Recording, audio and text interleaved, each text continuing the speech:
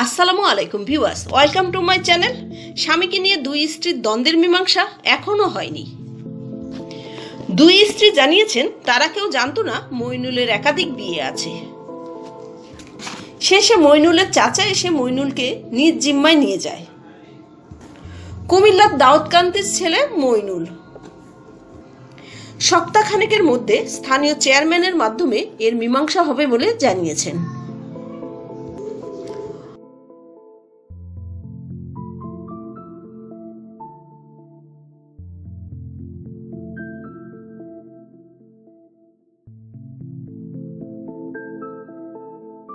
ওরা হাজবেন্ড বিয়ে করছে, আমি জানি না, আমি বিগত চার বছর ধরে আমার সাথে কোনো যোগাযোগ রাখে না, আমার মেয়ের সাথেও না, আমার সাথেও না। হ্যাঁ আসব শুনলাম আমি গেলাম দেখি যদি কোনো ইয়ে করতে পারি।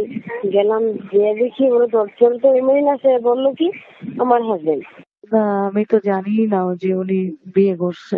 আমার সাথে অনেক দিন রিলেশন ছিল। পরে আর কি আমার সাথে বিয়ে হলো। আমি আমার জামাইকে নিয়ে থাকব, কি হবে? আমি তো তারা ছাড়তে পারব না। আর সে আমার ভালোবাসে, আমার বাচ্চাকে ভালোবাসে। আর আমার হাজবেন্ড তো তারে পছন্দ করে না। এখন কেউ যদি তাকে ভালো না বাসে, তার সাথে সে জোর করে তার সাথে সে থাকলে কোনো সুখ হবে না।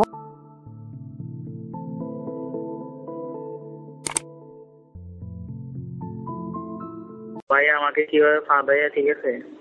আমার ওই বাজারে গেছি বইটা দেখে এরপর আমাকে বিয়েটা পড়াই দিয়েছে।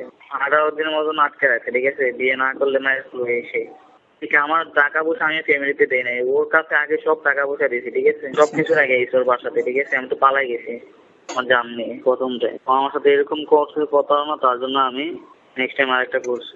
ফয়সলা হচ্ছে, এখন আমরা চাচ্ছি আমাদের ফ্যামিলির মাধ্যমে এটা মেটার করার জন্য আর কি।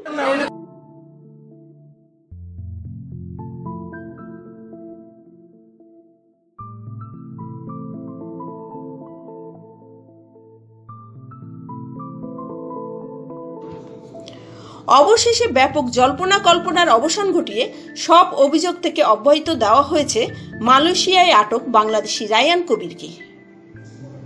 দেশে ফিরতে তার এখন আর কোনো বাধা নেই। ইমিগ্রেশন বিভাগের পক্ষ থেকে আর কোনো অভিযোগ আনা হবে না। তবে করোনা টেস্টের ফলাফল ও বিমানের ফ্লাইটের টিকিট কনফার্ম হলেই তাকে নিজ দেশে ফেরাতে সম্মত হয়েছে দেশটির অভিবাসন বিভাগ।